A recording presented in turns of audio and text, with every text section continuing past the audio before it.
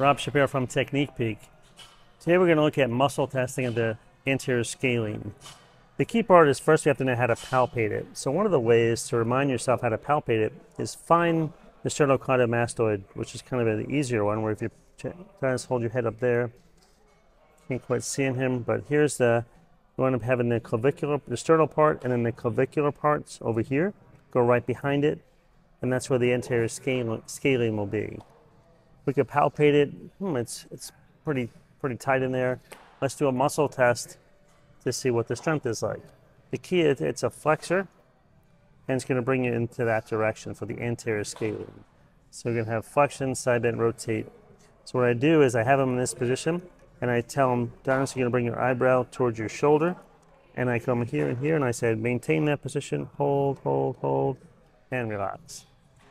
Now I'm curious for Donis, try this side just to see. We can palpate it again, hold up there.